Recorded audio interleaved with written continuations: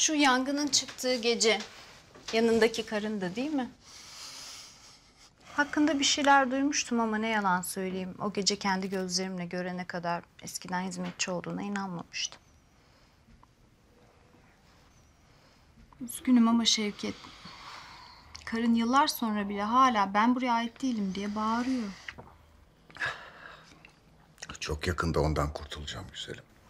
Kadınlardan kurtulmak kolay da çocuktan kurtulunmuyor. Kocam olsa böyle der. Sizin de bir oğlunuz var sonuçta. Oğlum. Oğlum bana hayatta kurulmuş en büyük tuzak. Sen artık içme. Saat de bayağı oldu. Kadir sabah erken gelir. O eve gitmek ne demek? Biliyor musun?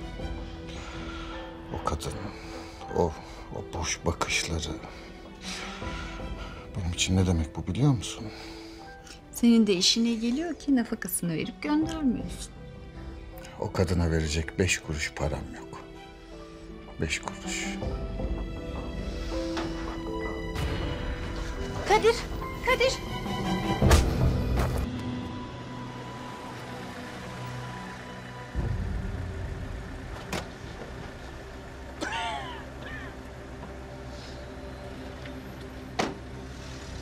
Baba?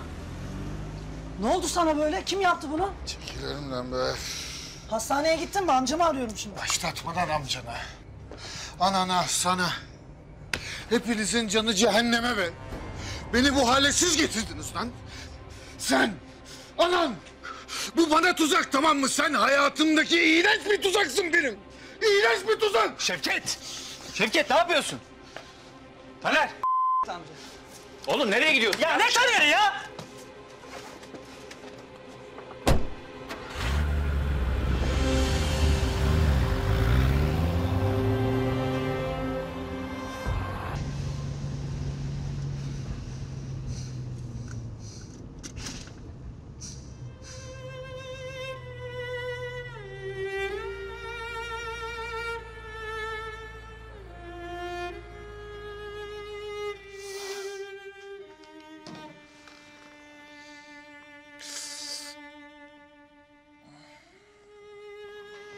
Altın çocuk Teneke abisinin paslarını siliyor.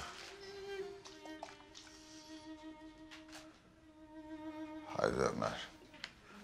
Metresinin kocasından dayak yiyen abine ne kadar acıtığını anlat. Benim anlatacak bir şeyim yok Şevket. Bence sen kendine ne kadar acıdığını anlat.